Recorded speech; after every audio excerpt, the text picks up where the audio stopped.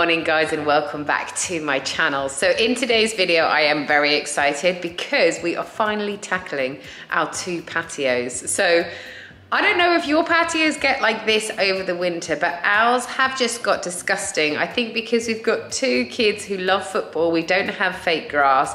So they go down and play football all the time when it's muddy and boggy outside. And then they come up to the doors with their muddy shoes and there's just mud everywhere. I cannot wait to show you this transformation. I also really hope this is gonna be a satisfying video for you all. So let me take you out there and show you what a disgrace it looks like right now. Okay, so here we go. this is disgraceful. The kids play football down there and then they walk up here and they just bring everything with them. So, I mean, just look at this. It's just winter for you because here in the UK, it's just so muddy, and we also get such a boggy garden, and you've got a bit of moss growing as well. We need to actually clean all of, we need to clean and repaint all of this kind of um, wall area, and then just like that, look at that, even that's got moss on it, broken mud, mud, mud, mud. Oh my gosh, this is absolutely disgraceful. So this needs a humongous clean and tidy. We're going to take off all of the furniture and this table tennis table and we're just going to give it a really good blitz. Down here we get like a big congestion of leaves here because we've got trees above that just drop the leaves. We need to get rid of like lots of these bits here. Down here, same as above, absolute mess. So we're gonna give, and also we need to sort of sort those out as well because they've gone a bit green. Chris just having a workout. But yeah, as you can see, this is the reason why everything gets so gross because it's so muddy here, but the boys love playing football. We actually thought about getting Astro, but it would just cost an absolute fortune, so we've decided not to. Okay, so this is what we're going to be cleaning the patio with. So this is an electric, how cool is that, pressure washer. We've had this for a couple of years now, and as you can see, still firmly in its box. But I think it's because obviously we had the patio redone and everything, so we haven't been able to get it out. But the great thing about this, as you can see, it's got this like round head on it. It sort of captures all the water in there and it cleans the area where the round head is. So we're just gonna take it out and um, plug it in to charge up the battery and then we're gonna get started.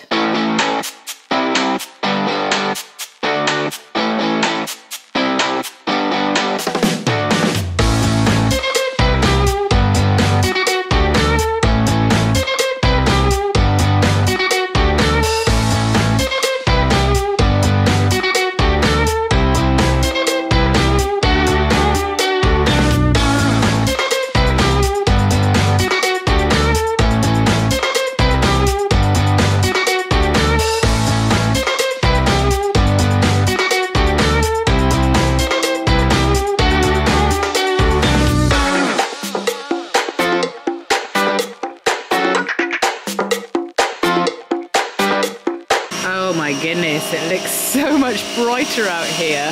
So as you can see around here, we just now need to repaint because um, when they put the tiles down, they got some of the grouting on there. So we just need to give it all another coat. But Chris is getting a little carried away.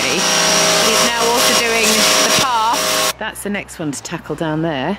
But yeah, it's just looking so much brighter. But like I said, we do just need to repaint now kind of everywhere. The whole house needs another coat of paint, to be honest, because when we did it first of all, we just did a rough sort of coat, um, always knowing that we'd need to do more.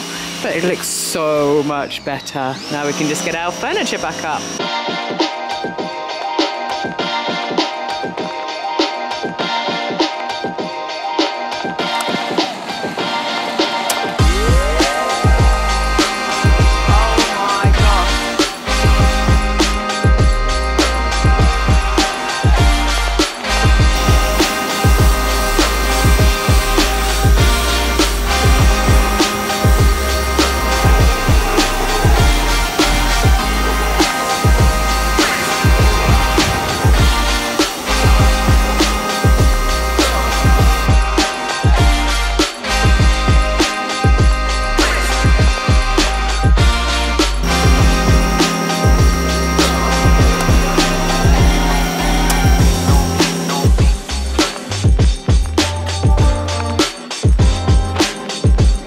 The sun has just come out so I can show you the patio in all its glory. It looks so much better. I mean, I know we're gonna have to go over it again before like the summer because it's probably gonna get dirty again, but at least we've got like the most of the dirt out. Next time we can kind of just run over it a lot quicker. So it's just making the whole house feel so much brighter from the inside because it's not just like dark and gloomy mud on here. It's actually the nice colour. I'll link these tiles down below where we got them from because lots of people ask me about them actually. So I'll link them down below. They're from Porcelain Superstore and they're 20 mil thick tiles and they're 90 by 90 so they're lovely and big. But yeah look once we get some cushions to just spice this area up I want to get a little rug like an outdoor rug here maybe another outdoor rug for that area as well. So now next up we just need to paint. And then here are our steps which just look so much better. So we're going to tell the kids that they're definitely not allowed to run up here in their football boots anymore. Can you believe the difference in this patio? I actually didn't well, I did think this was bad, but I thought the top one was worse until Chris started cleaning it. So what we've decided, because we've got a lot of stuff that needs to go back on here, but I think we might get rid of some of this stuff because um, we've got like the barbecue and bits and bobs that we need to keep and then we've also got the boys table tennis table but we want to put a nice big corner sofa in this area with a table because that up there, that light there, is actually a light slash heater. And then we want to like have this, as you can see, the sun is coming out nicely for this little video. This is where the sun sets in the evening. So that's why we built the pergola here so that this can be kind of like where we have um, some drinks in the evening. We also extended the patio here so that this could be like our barbecue area. We just don't have any furniture for here at the moment. So we need need to get something to go here. So we might just kind of leave it empty for now, put the barbecue over here in its place, but just while it's drying, we've left it. As you can see, Chris also jet washed the back fence quite a bit, so he's got rid of loads of that moss, which looks so much better.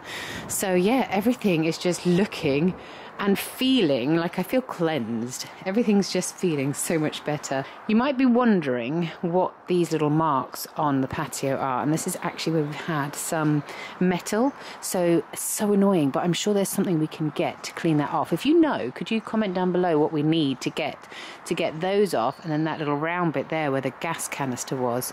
Um, it just doesn't look very nice, does it? But I don't know what to use. That's not gonna. Well, it, they're like I'm sure they're quite hard wearing tiles, so I don't think they're to get damaged. But yeah, if you can think of anything, let me know. And that is our patio transformation complete. It looks so much better.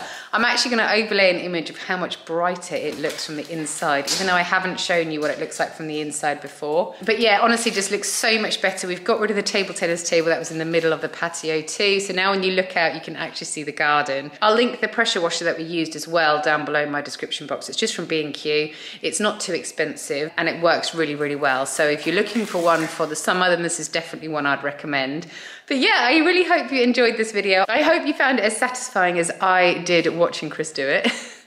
I was going to help him, but he gets quite like in the zone and then he just wants to do everything himself so that he can be proud of his achievements, which is absolutely fine with me because it's quite cold outside.